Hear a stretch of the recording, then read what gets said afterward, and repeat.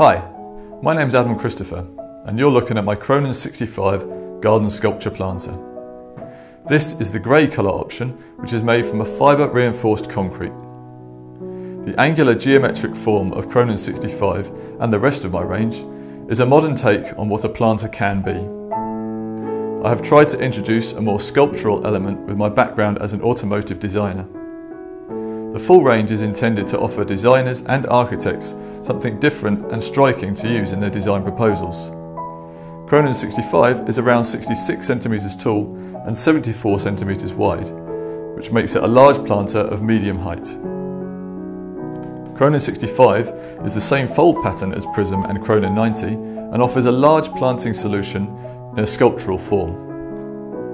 All of the range is suitable for both indoor and outdoor use as the fibre reinforced concrete makes the planter strong and durable.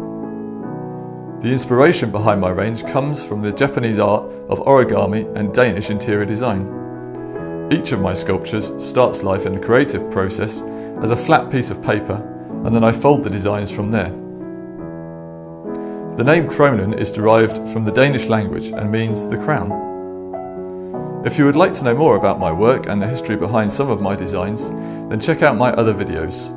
Or, if you have any questions, please feel free to email me at my website adamchristopherdesign.co.uk.